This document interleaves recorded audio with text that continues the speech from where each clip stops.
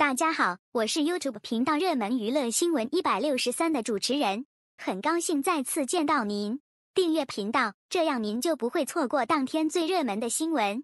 这是今天的新闻：王一博、无名镜中人预告释出，三部影片国庆档上映系自我博弈。最近有关王一博的好消息真是一波接着一波。街舞少年陈硕刚刚与丁雷携手冲向全国大赛，试飞员雷雨就与队员们一起走进了大众的视野。就在网友们热议蓝色贝雷帽的杨震会不会一同赴观众的大银幕之约的时候，叶秘书又悄声不响走了出来。没错，最神秘的无名发布新预告了。近日，不声不响的无名发布了最新预告片，与以往印象中的预告片不同。梁朝伟与王一博在六十秒的预告片中一言不发。却使观众在暗流涌动中感受到影片神秘而又高级的质感。两位男主在不同的场景中，通过动作、神态、眼神以及背景音乐，营造出谍战剧应有的悬疑感和氛围感。王一博在富丽堂皇的卫生间内整理仪容，与梁朝伟在阴暗简陋的房间内修饰蝙蝠，形成了鲜明的对比。再加上两位深邃的眼神，瞬间将氛围感拉满。虽然预告中没有一句对白。但是交代的信息量却一点也不少，意象元素的运用将整部影片的悬疑氛围推上一个新的高潮。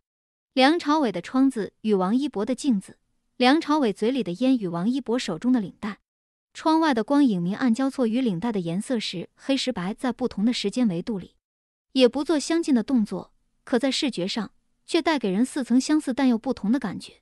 这种大胆的表现方式非常符合导演陈耳的风格。任重道远、黑色幽默，陈耳交出的这份主旋律风格电影，让观众对《无名》充满了期待。虽然预告片只有短短的一分钟，但是带给观众的极致观影体验，已经让人不得不将期待值再一次调到最高。作为主演之一的王一博，从电影开拍伊始就受到了各方的关注。年纪轻轻与影帝影后合作，能否担起重任，也成为了谈论的焦点。当然。这其中质疑声颇多，可随着制片人、导演讲述片场的故事，当电影剧照、预告片逐步的释出，王一博不论在造型、表现以及神态上，都给了网友重重的冲击，也让网友对这个努力的青年演员开始有了期待。更有细心的网友从海报和预告中发现，叶秘书至少换了五条领带，甚至有人开始期待电影中叶秘书到底会更换多少条领带，会不会如当年的？《花样年华》中，张曼玉饰演的苏丽珍一般，呈现出经典的旗袍领带秀。无名预告片的发布，也就意味着电影上映的脚步临近。而最近在国庆档的推荐影片中，网友还惊喜地发现了王一博的另外两部作品《长空之王》和《热烈》。这样一来，王一博就有三部影片可能会选择在国庆档上映。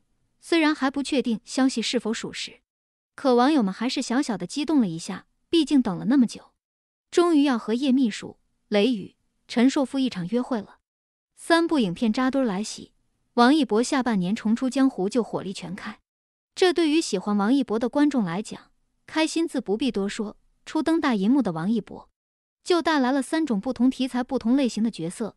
即便不会全部选择在国庆档上映，但预告片尾明晃晃的“二零二二”，敬请期待，也意味着排片最迟不会超过元旦档。两个月的时间内，待映作品先后上映，这无疑是王一博的自我对标，也是他的自我博弈。原创不易，谢绝搬运。